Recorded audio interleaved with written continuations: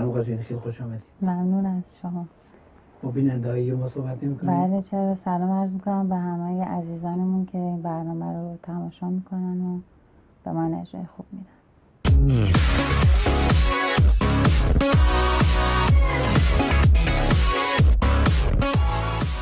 با دلبری. درسته؟ بله. تنها فیلم امسالتون دیگه. نه بردارم خسرو در ها بردارم خسرو هم بله. هست. بله.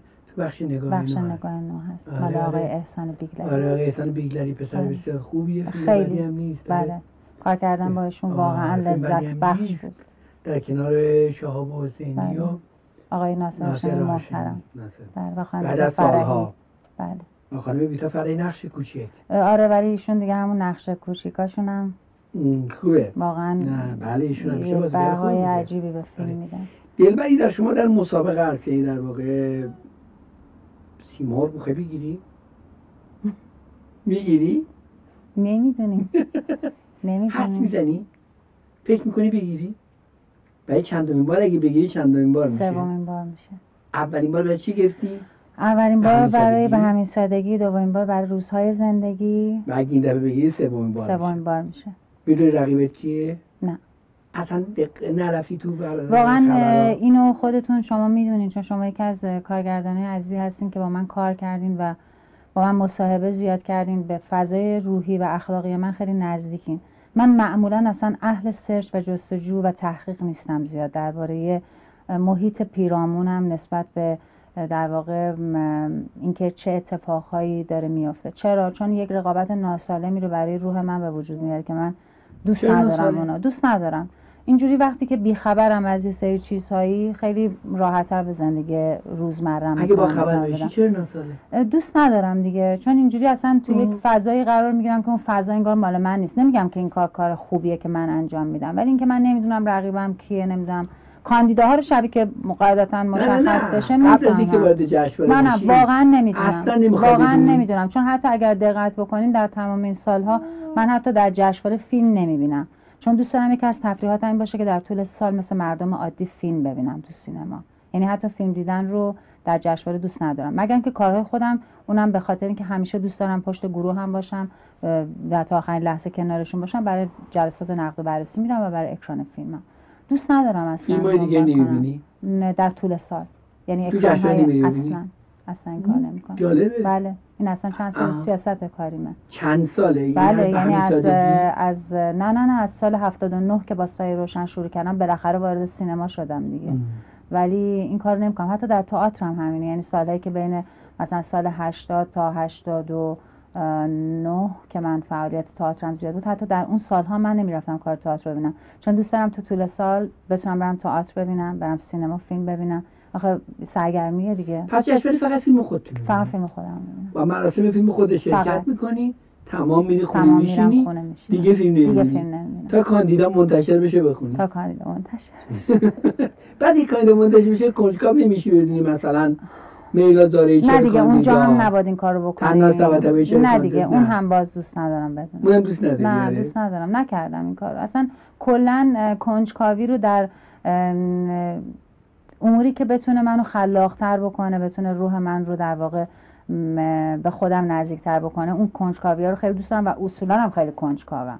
ولی در زمینه های دیگه کلا من کنجکاو نیستم. در مورد هیچ عجیب آدم که تو مشهد زندگی کنه کنجکاو آخه من. خیلی سن کم از مشهد اومدم بیرون به خاطر که مادرم اه، اهل تهران بودن و چون در مشهد با پدر من آشنا شدن ما یه time اونجا مشهد یه زندگی کردیم که بالاخره خیلی کم بوده بیشتر time من یا کلمه تایم من الان اشتباه البته گفتیم. مشهدی متن ناراحت نشن چون خود منم مشهدی مشهد که اصلا باعث. افتخار چون آره، آره، آره. خراسان یک قصه و. تاریخی داره که من همیشه با سربلندی با اینکه یعنی تعداد روزهای تجربی زندگی زمینیم در مشهد کم من همیشه با افتخار میگم من دختر خراسانم. به خاطر که خراسان خاک توس زاده های بزرگی داره. اخوان سالس فردوسی عطار نشابوری ما آدم های بزرگی رو داریم. بر همین چرا من به اون سرزمین و با خاک اونجا افتخار نکنم؟ منتها وقتی که فضای شخصیتی من در تهران شکل گرفته من مثلا انقلاب رو در تهران تجربه کردم.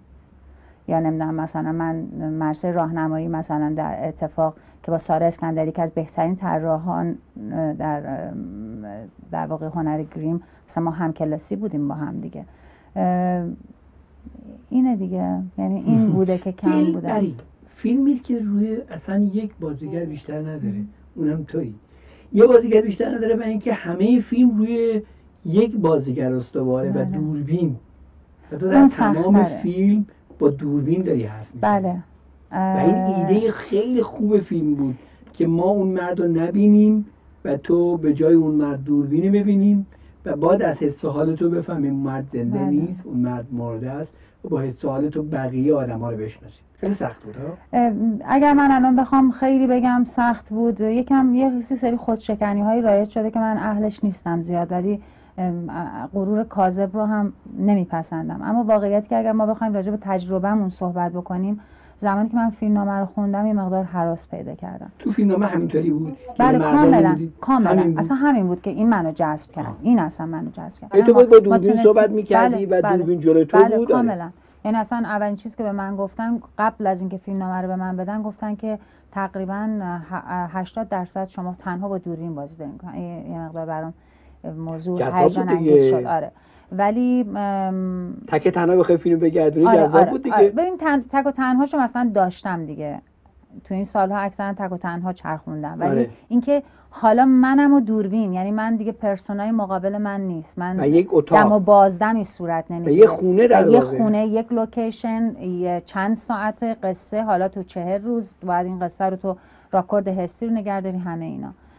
به حسی که از شادی شروع میشه به چی؟ یهو ختم میشه. به اندوه. اندوه. مرسی که اینو گفتیم ممنونم که اینو گفتیم چون فضای غم و اندوه خیلی فرق کنه من فکر کنم که قصه میسم و توبا قصه اندوهه. چون شیدایی داره وادی شیدایی داره وادی حیرانی داره وادی قربت داره. عشق یعنی داره. وادی عشق داره. یعنی تمام این وادی ها رو یعنی من با خودم فکر کردم که خب توبا انقدر از من دوره. حالا من چگونه می‌تونم توبا رو خلق کنم؟ و دیدم که فقط وادی هایی که توبا طی کرده چه وادی هاییه دیدم وادی عشق وادی حیرانی وادی شیدایی و وادی قربت وادی قربت اونجایی بود که من از در میرم بیرون و دوازده ثانیه تو فیلم سکوته و برمیگردم.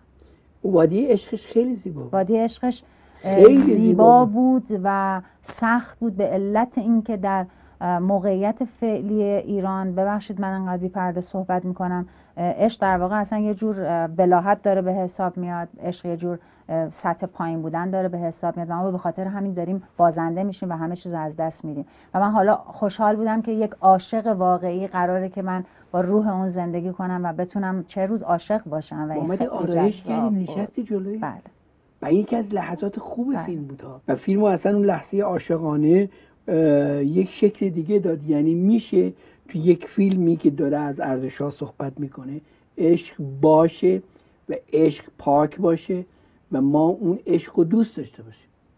عاشقه که خونه توبا بیمارستان بود. من روز که وارد لوکیشن شدم خیلی اذیت شدم.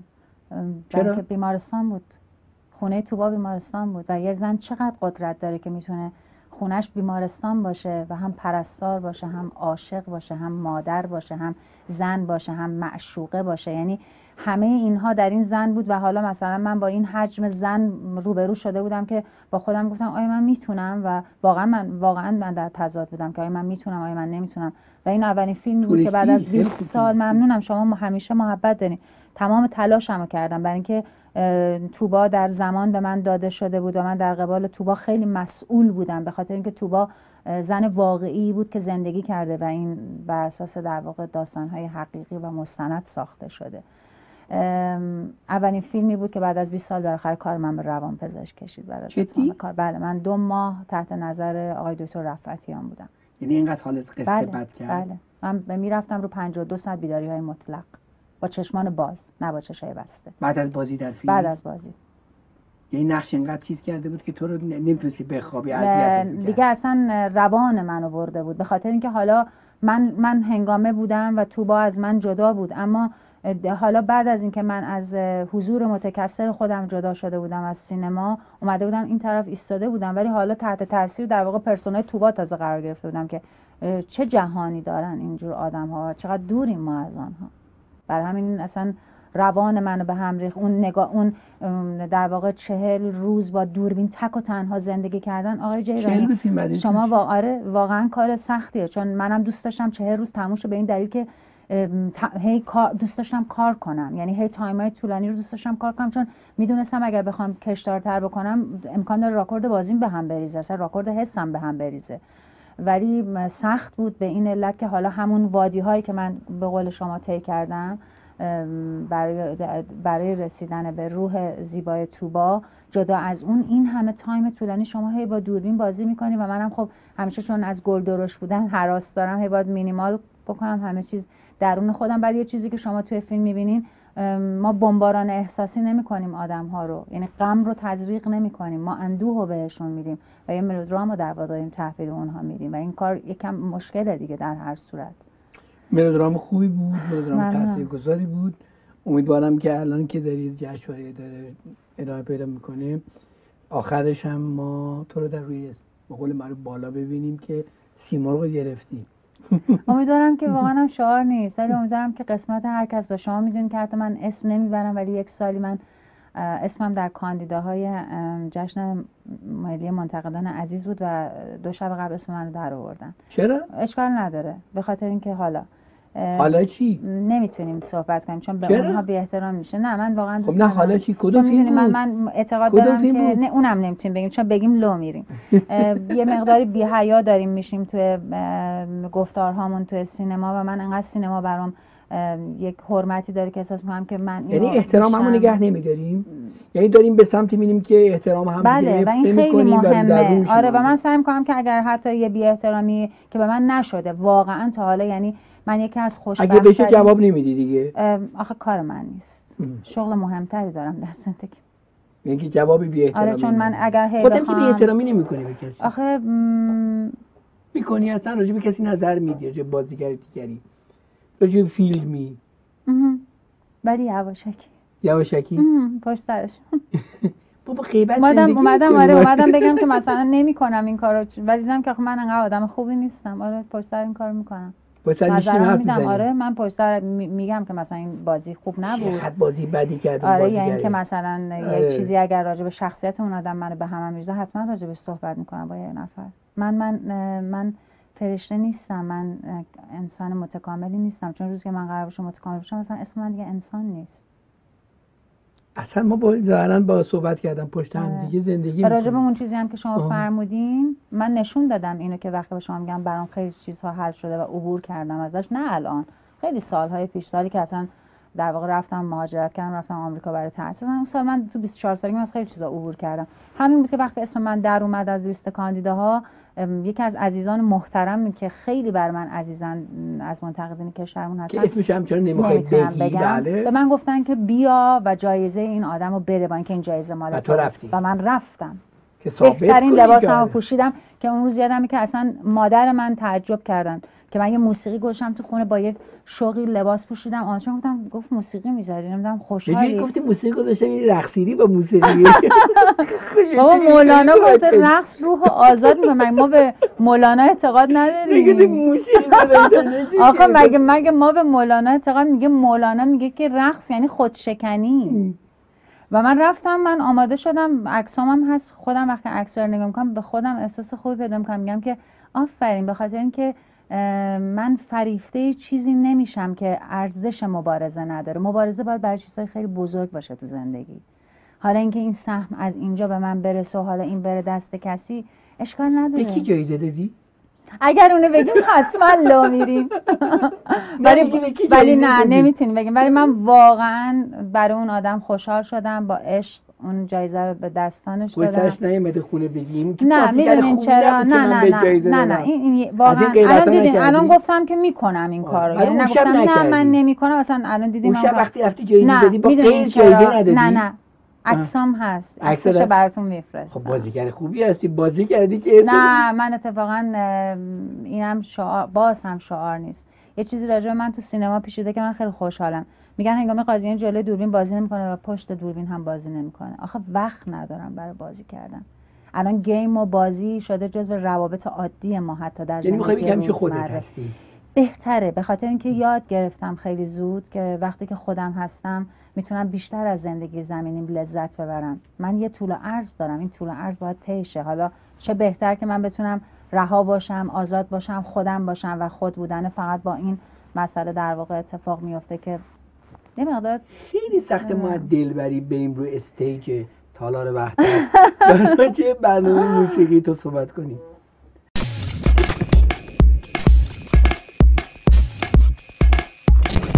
اولین بار بود که بعد موسیقی اجرا بله بله. چطور شد که علاقه پیدا کردی 19 سال تخیل من بود همزمان با بازیگر. یعنی در به موازات هم این دوتا از سال 1998 که 1177 شاید بشه 77 که اومدم ایران این تصمیم رو داشتم. و جالب بود که انگار که همش در حد ایده بود ولی هی شکل نمی درست برخلاف بازیگری که دیگه 79 توم شد همه می‌گفتن صدات خوبه و می‌خونی دیگه خود شما اولین کسی هستین که توی فیلم من مادر هستم. باران گفت که یک صحنه بنویس هنگامه صداش خیلی خوبه هنگامه بخون ما ممنونیم از ممنونم خیلی ممنون. ولی شما هم می‌تونستین بگین که نه من این کار نمی‌کنم. و این کار کردیم. من یادم روز روی مارسان. یهو به من اومدین گفتین که تو اتاق گریم گفتین هنگامه باید بیای بالا و باید آواز بخونی گفتم من باید آواز بخونم. گفتین آره باید این کارو بکنی و تو باید این لالایی رو بخونی.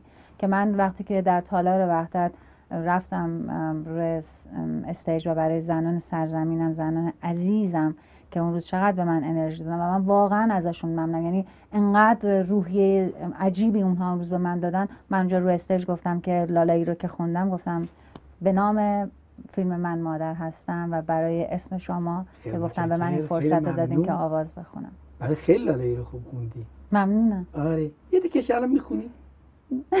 یادت هست از این بله خوندمش دیگه. آخه الان درسته فکر می‌کنم این بعضی وقتا یه چیزایی لازمه.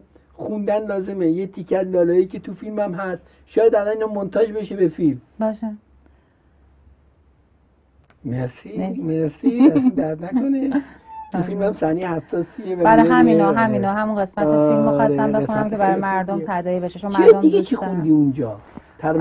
توی کنسرت. آه تو کنسرت؟ ما ترانه های قدیمی رو مخصوصا اجرا کردیم. یعنی اجرای جدید؟ بله. تنظیم آهنگساز کی آقای رضا تاجبخش تنظیم کردن کارها رو. مثلا بهار دلنشین خوندیم پاپ اجرا کردیم. بعد مثلا مرغ سحر رو من اصلا دوست نداشتم الان کلاسیک اجرا بکنم. اجرای جدید ولی اجرای جدید کردیم و جالب بود اصلا بندم مرغ سحر جدید کردیم خیلی خوب یه تیکه اجرا مثلا نه دیگه نمی‌تونم دیگه نمی‌تونم. مرغ سحر خیلی آره خیلی نکرده تو آره مرغ سحر از قمر ملک وزیری اومده. بله.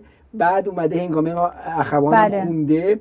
مثل چیزم خونده شجریان هم خونده بله. خیلی خونده بعد اتفاقا خیلی جالب بود که اصل عباسیان خبرنگار که اولین بار اومد نشست که روابط عمومی کار بود یهو وقتی من قرار بود گفتم اعلام می‌کردم همیشه مثلا گفتم مرغ سحر به نوازنده هم تو استودیو. مثلا شروع می‌کردم تمرین.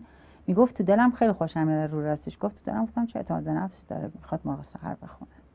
میگو وقتی خوندی؟ دیدم ریتم موقع سر تون کردیم. ریتمش تون کردیم و سخت میشه وقتی تون میشه. وقتی میشه. یعنی وقتی که آروم میشه آروم هست خیلی خوندنش آسان تر بود من باید حالا مرغ سحری که کاملا یه تمی داره که تو نمی‌تونی مثلا لبخند بزنی بگی مر... نمی‌دونم مثلا مرغ سحر با یه لبخندی بخونی یا پاپ هم تون اجرا کنی. من باید هم ریتم اجرا یعنی میمیک صورتم رو رعایت می‌کردم کلمات رو در واقع زندگی می‌کردم و این اتفاق حادث تو دوری موسیقی دیدی؟ من دوره موسیقی اصلا ندیدم. ذاتیه؟ مثل بازیگر. مگه من دوره بازیگر دیدم. خیلی خوبه. یه ذاتیه داره موسیقی. نمی‌دونم. ولی اجرای قبلی موسیقی داشتی بله با آقای شهرداد روحانی من سوره ایران اجرا کردم با ارکستر سمفونی. در ایران؟ بله بله. یعنی تو کور بودی؟ پنج نفر بودیم پنج نفر تو پنج نفر بودیم بله. ولی آقای شهرداد روحانی لطف کردن اونجا به من گفتن که تو آوازو دنبال کن.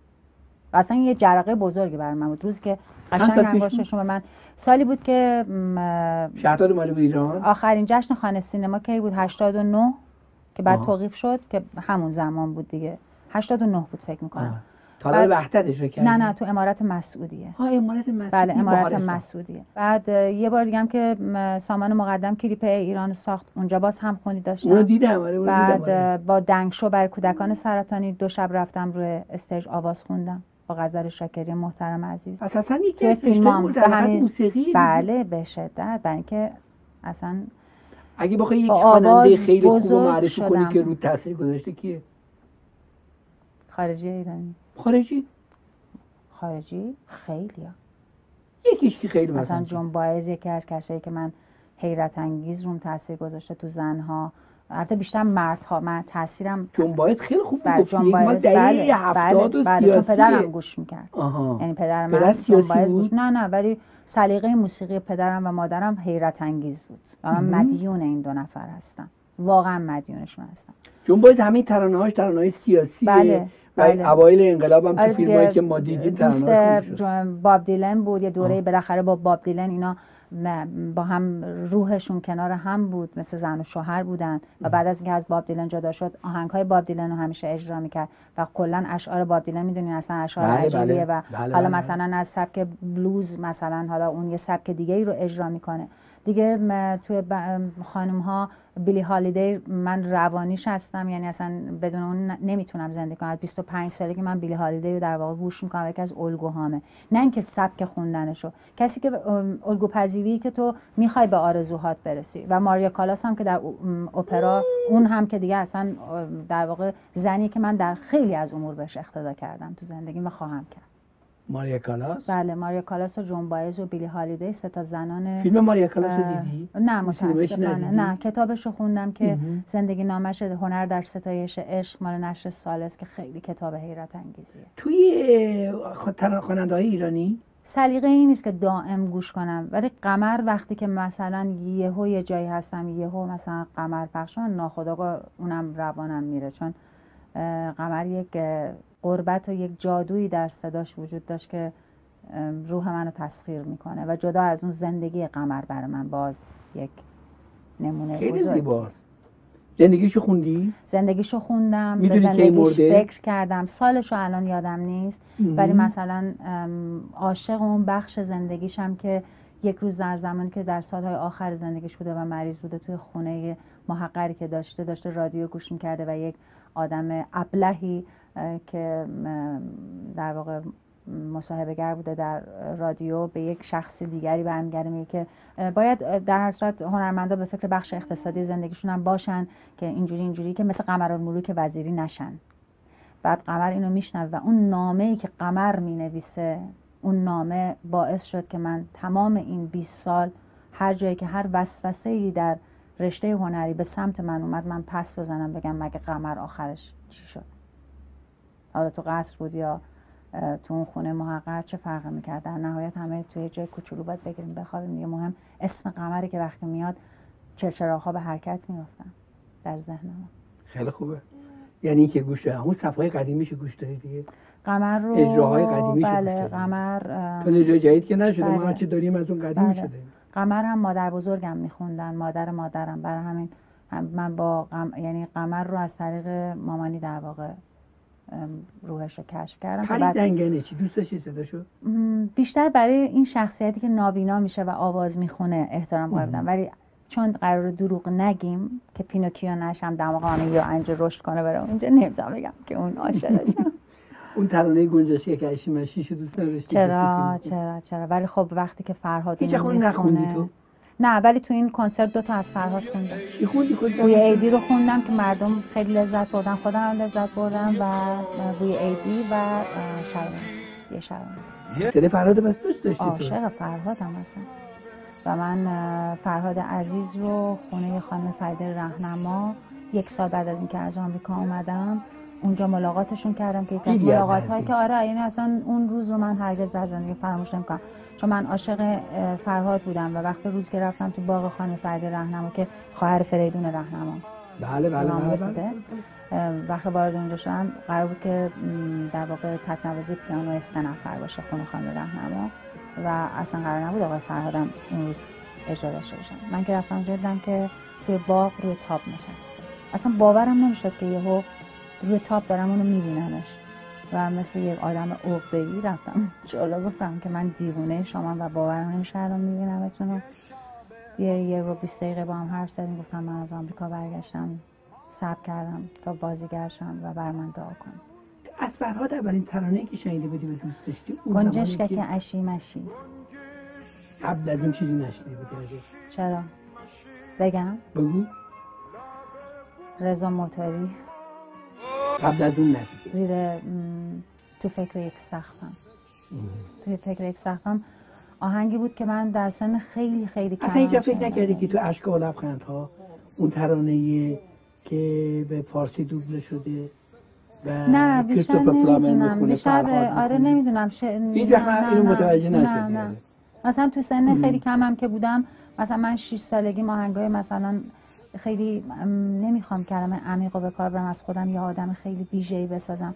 ولی همیشه عجیبه در تقدیر من که اصلا هیچ چیز عجیبی نیست. در تقدیر من همیشه کلمات جهان لغات و کلمات همیشه بار معانی سنگینی داشتن. یعنی اگر من بخوام هم بار هستیم و سبک کنم اون سنگینیه میاد سمت من. می‌دونی؟ به استیج تالار وحدت این. خواننده حرفه‌ای عمل کردی. آخه من باید اینو بگم. نه جدی میگم. یعنی ما که ندیدیم خانما دیدن. و خوشحالم که خانما دیدن. ببینین از همکاران عزیز من خانم شقایق فرهانی محترم بودن خانم؟ تینا پاکروان بله تشریف بودن خانم گلاب آدینه عزیز که اصلا. یعنی اصلا خانم گلاب آدینه وقتی اسمشون رو به من دادن تو سالن اولین اسمی هم بود که به من داده شد. اصلا برمیگردم حالا جدا از مردم به همین همکارای خودم خانم مرجان شیر محمدی که همین به، به، دیروز. اتفاقا دوباره به من یک تکست دادن که؟ من راجع به صدای تو دارم باز همچنان فکر می‌کنم و من همینجا از خانم مرجان شیر محمدی خانم تینا پاکروان خانم شقایق و از تمام عزیزانی که اومدن خانم گلاب آدینه تشکر می‌کنم خانم گلاب آدینه هم یه حرف قشنگی بعد از کنسرت به من زدن به من گفتن که یه چیزی در تو قابل تقدیره و اون اینه که شاید ما یکی دو تا صدای خوب در سینما داشتیم برای آواز خوندن. ولی تو این کار رو شروع کردی در سینما. و هم به من تبریک گفتن و با انرژی بر من دست می‌زدن تو کنسرت. اونا که تماشاچی بودن؟ گلم بهت دادن؟ گل خیلی گل دادن. من از گلاتون ممنونم. ما انقدر گل داشتیم که اصلا نمی‌دونستیم باید چی کار جلوی کنیم. سن اومدن جمع یه. اتفاق آره یه اتفاق عجیبی که چون دیگه یه چیزی بوده که برنامه زنده بود و نمی‌تونیم ما اصلا دروغی بسازیم. چون شا... توی مثلا روزنامه ها این یعنی خبر رسانی یعنی اتفاق افتاد خبر بعد از کنسرت. یه چیز خیلی جالبی که بود این بود که ما وقتی که آهنگی که دوباره برای تکرار و خداحافظی از مردم می‌خواستیم اجرا بکنیم ازشون خواستیم گفتیم اشارات یعنی گفتیم چی اجرا کنیم؟ مردم همه گفتن اشارات نظر. و من اشارات نظر رو هنوز به پایان نرسونده بودم که جمعیت شروع کردن حرکت کردن. ما فکر جمعیت دارن میرن از بیرون. من- که میره اومدن جلو. آره ولی باز برام چیز بود. گفتم که اشکال نداره. دارن زودتر میرن بیرون به ماشیناشون برسن. جمعیت اومدن جلو اومدن جلو و این عین واقعیت من از اینجا از نوازنده ها من البته نباید عذرخواهی کنم چون این عشق مردم بود. ولی حتی فرصت این داده نشد به نوازنده که من بیان جلو استیج و در واقع خداحافظی کنم با مردم برم چون مردم آخر اومدن موسیقی قطع شد و من وسط خوندن فهمیدم یهودم پشتم نوازنده هم نیستن. و؟ با مردم رفتن نمی‌تونستن. برای اینکه مردم همه مردم عزیزمون همه جلوی صحنه بودن. و خیلی زیبا بود. این که تجربه چون من درست تئاتر کار کردم. من عادت دارم به فضای برنامه من سبک شدم. من ببینین خیلی صادقانه آقای جیدن من همیشه با شما خیلی راحت بودم. یعنی یکی از کارگردان های من بودین که من همون زمان که کارم کردم راحت بودم. هر وقت با شما مصاحبه کردم خودم بیشتر خودم بودم. و شما این فرصت رو به من میدین. من بعد از 20 سال با اینکه در تئاتر همیشه آزاد می شدم در سینما هم همیشه آزاد می شدم سینما آزادیش کمتر بر- در همه جای جهانه چون بالاخره میگم باز حضور متکثر این جریان این مسئله رو موجب میشه که کمتر رها میشه تو تئاتر بیشتره. ولی این دفعه دیگه اصلا یه تجربه دیگه بود. وقتی که وارد میشی و صدای سوت و کف تمام زنها رو میشنوی و این تشویق زنده و این همخانی که باهات میشه این که زمزمه یعنی میشنوی. همخوانی هم می‌کردم بله. خیلی زیبا. یعنی یک سالن من کیف کردم. اصلا پرشور بود. بازم می‌خوای اجرا کنی صد ترانه؟ درصد. اگر واقعا اه، اگر دوباره بتونیم چون من مجوز گرفتم من گروه همو به ثبت رسوندم نوازنده همو به ثبت رسوندم. یعنی همه چیز قانونی انجام شد و من ممنونم از واقعا تمام عزیزان در وزارت ارشاد که این فضا رو محترمانه برای من فراهم کردن. اگر دوباره قسمت بشه و من بتونم ما برای اردیبهشت این تصمیم داریم که دوباره در واقع در تالار وحدت برای از موسیقی می‌خوام برم به یک کاری که تو اخیرا کردی اسم کتاب تو حافظم نمونده. یک کتابی هست به نام بله. سرزمین, سرزمین مرد, مرد سرخپوست سرخپوست قانون مرد سفید پوست. ترجمه از بله. انگلیسی. بله. یک کتاب تاریخ. سیاسی حقوقی بله. ادای دین من هست به اون چند سالی که در ایالات. متحده آمریکا زندگی کردم. همیشه علیه امریکا البته؟ علیه نیست. یه جور اه، تاریخه که من می‌خوام به دانشجوهای تاریخ خیلی اینو پیشنهاد می‌کنم. به دانشجوهای تاریخ دانشجوهای رشته؟ سیاسی ویلکون واشبرن. سفید پوستی که سالهای عزیز عمرش رو صرف تحقیقات راجع به در واقع سرخپوستا می‌کنه. که من فکر کردم همیشه سرخپوسته که اینجوری راجع به سرخپوستا می‌نویسه ماه فوریه قبل از که بیام از آمریکا زنگ زدم شمارش گیر آوردم از دانشگاه و زنگ زدم گوشی خانمش برداشت در نیویورک من گفتم من می‌تونم با آقای ویلکون واشبرن صحبت کنم. اون موقع 28 سالم بود. گفت که نه شما نمی‌تونید و من یکم بهم برخورد گفتم که من یه دختر ایرونی هستم که کتاب ردمندنز وایت ملا ایشون رو ترجمه می‌خوام بکنم و دارم برم ایران. اونجا قانون سو وجود نداره ولی من فقط خواستم برکت ایشون رو در واقع بگیرم و بگم که راضی باشه. بعد وقتی اینو گفتم خانمش یهو خب براش جذاب شد که یه دختر ایرانی می‌خواد این کتاب رو ببره ایران. و به من گفت که تو نمی‌تونی با اون صحبت کنی به خاطر اینکه اون 22 روز پیش از دنیا رفته. اینم خاطره من با ویلکون واشبرن بود که هیچ وقت نتونستم صداش بشنم روحش آرام باشه و اینکه دو چیز رو به ما یاد داد. اینکه قاره آمریکا کشف نشده فتح شده. و اینکه با نام مسیحی که حامی ضعفا بود قتل های بزرگی انجام شد در تاریخ چقدر طول این ترجمه این کتاب؟ یک سال و هفت ماه. چند صفحه از کتاب؟ اه، 184 صفحه. ویراستارش کیه؟ ویراستارش هیچ کس. جالب. آره ولی شاید خودته؟ ولی من به خاطر اینکه باز دروغگو نشیم فکر می‌کنم شاید آقای محمد بزرگ علی- نشه. آره برای دماغمون بزرگ نشه محم- آقای محمد علی جعفری محترم که برای نشر ایران خیلی زحمت کشیدن فکر می‌کنم خودشون یه کاری کردن. یعنی منظورم الان اصلا این جعفری حرف من این با عبدالرحیم جعفری یا. پسر جعفری نه نه نه اصلا ایشون به اون جعفری نداره. داشته باشن نشر سالس سالسه بله نسل نشر. سالس رو فقط من از 78 با این نشر در واقع یعنی اولین نشری بود که من رفتم نشه سال البته نشه نشی که آثار هنرمندا رو داره بله، منتشر می‌کنه بله، بله.